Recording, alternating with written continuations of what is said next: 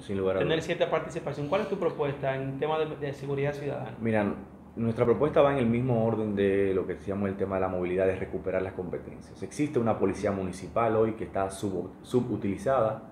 Nosotros estamos planteando esa policía municipal relanzarla y convertirla en un cuerpo especializado de seguridad metropolitana. Actualmente existen 400 miembros de la policía municipal, es decir, casi menos de un 10% de lo que requeriría el territorio de la- del Distrito Nacional para gestionar la seguridad de sus municipios. Nosotros estamos planteando en los primeros cuatro años llevarlo a 2000. Y este cuerpo especializado de seguridad metropolitana tendría tres funciones esenciales en los sectores que estaría asignado.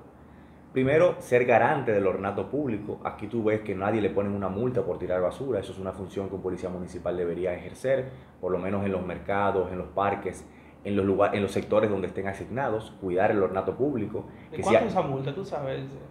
No, no se, no se ponen, son multas que hay que reactualizarlas, porque aquí, eh, aquí el sistema de multas es incluso de cuando la, desde cuando Trujillo, igual que las normas de planeamiento urbano.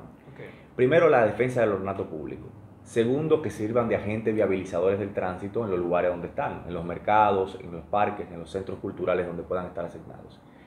Y en tercer lugar, que con su sola presencia ayuden a disuadir el crimen. Llevarlo de 400 a 2000 en los primeros cuatro años, a un- generar un aumento de salarios.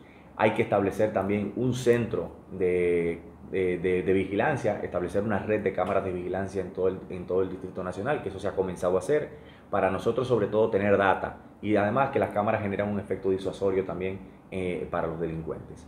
Y lo más importante es ciudadanizar la seguridad ciudadana. Nosotros estamos planteando en que cada barrio se cree un comité, a través sea de la Junta de Vecinos, un comité que se crea, que esté enlazado a través de grupos eh, de, WhatsApp o de grupos de Telegram, para que esos grupos que estén en, eso, en, esa, en, esa, en ese barrio estén conectados con los agentes de la Policía Municipal, en este caso del Cuerpo Especializado de Seguridad Metropolitana, y ayuden a servirse, a convertirse en una red ciudadana de vigilancia de esos territorios. Porque solamente integrando a los ciudadanos eh, en la gestión de la seguridad y en la gestión de la vigilancia, nosotros vamos a poder recuperar el territorio.